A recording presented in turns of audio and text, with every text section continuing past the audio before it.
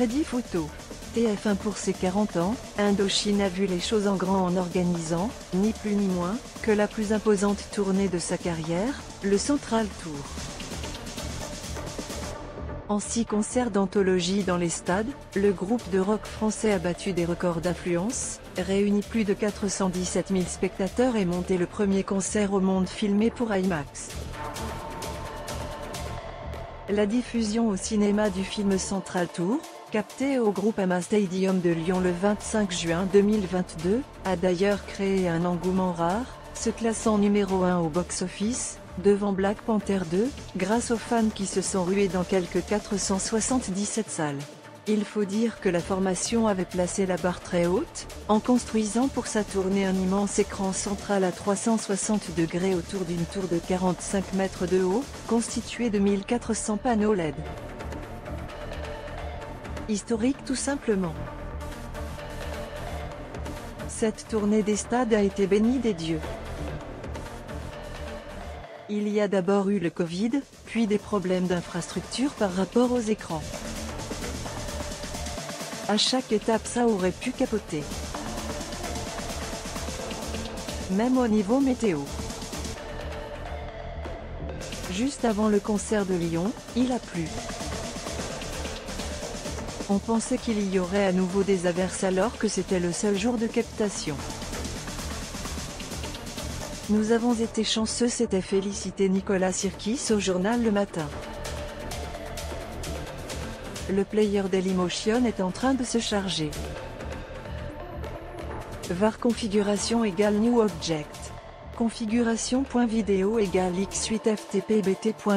Configuration.param égale new object.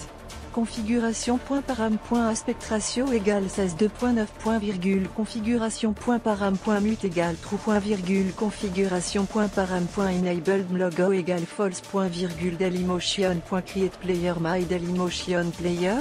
Configuration, merci à tous.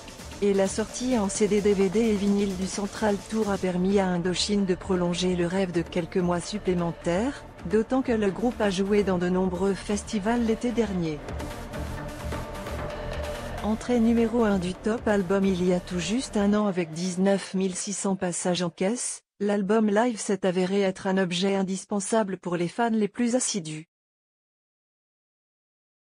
Avec des ventes constantes et un regain de forme autour de Noël, le CD affiche aujourd'hui 100 680 ventes précisément au compteur. Part symbolique franchie grâce aux 875 exemplaires du disque qui se sont écoulés la semaine passée. L'album Central Tour d'Indochine est certifié platine. Si à tous. A réagi la bande en story Instagram, où de récentes publications ont suscité les mois. En effet, depuis plusieurs mois déjà, Indochine est retourné en studio pour enregistrer son prochain album, qui sera le premier à voir le jour depuis 13 en 2018. Nom provisoire du disque The Salinger, en référence à l'écrivain J.D.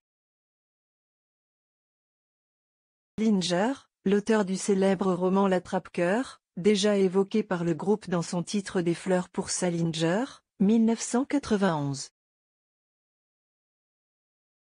Les informations distillées par Indochine, 18 morceaux devraient garnir ce projet forcément très attendu.